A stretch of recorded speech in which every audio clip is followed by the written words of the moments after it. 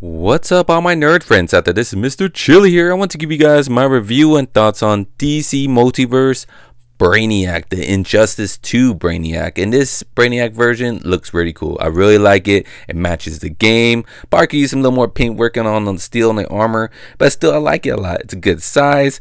Just the only thing that sucks in my book is the claws. You know, the little, I guess, tentacles on his back, kind of like the Dr. Octopus look and all that. I wish he came with a banded wire. I wish it was more longer, you know. I wish it was like kind of like the new the new things that uh, new Doctor Octopus that Marvel Legends been giving us for the tentacles in the back. Oh my god, that would look so awesome to have that. Definitely the one that came out with the uh, Spider-Man Amazing 2 one. I mean the Spider-Man 2 one, Doctor Octopus. That would be awesome. The movie one, that would be awesome with this um freaking Brainiac.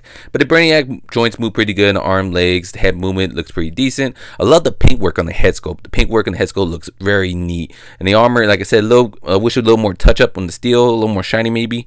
Would be a little cooler. But I do like the paint work on this. The joint move pretty good. Just the tentacles sucks. And I kind of wish another head sculpt, a little more accessories would be better. But I wish it came with bendy wire on the uh, tentacles. That would be awesome. You know, really cool. He looks great with the other Superman figures out there. He looks badass. Wish more hand swap abilities would be more cooler as well. Like I said, that would be more cool.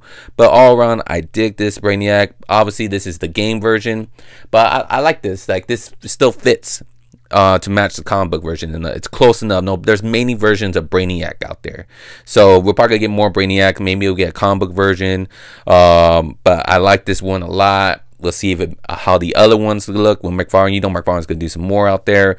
Um, I would love to have more Brainiac robots. You know, more of his uh, army that he builds because he's like Ultron in a way. He likes building robots and technology. Definitely in the game. Like hopefully uh, McFarlane makes the Injustice Brainiac version robot games. These little minions that would be pretty cool from the game to uh, rock with them. You know, build army building set right there. That would be so dope. That would be sick if he does that.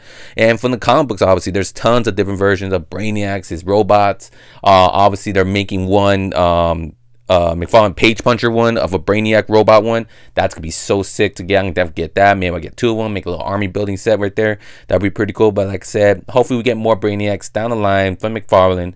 Some Brainiac robots, different designs. That'd be pretty cool. Brainiac's one of my favorite villains. I think hopefully um, James Gunn, his first Justice League movie that he makes, Brainiac's the main villain because I Brainiac is sick. Brainiac's one of my favorite DC villains, so I'm happy to have this one. Um, he looks cool. Looks he is a perfect version of Brainiac. I can't wait for more Brainiac to come. But comment below, give me your guys' thoughts on this DC Multiverse Injustice to Brainiac. Did you like it? Did you hate it? Are there any problems like you had um, with mine? I didn't like the tentacles.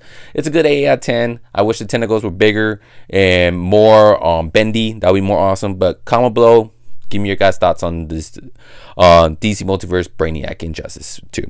And please hit that like button. Subscribe to my channel if you're new. And I'll talk to y'all next time. Hope y'all have a good day and good night. Remember, stay nerdy forever. Bye.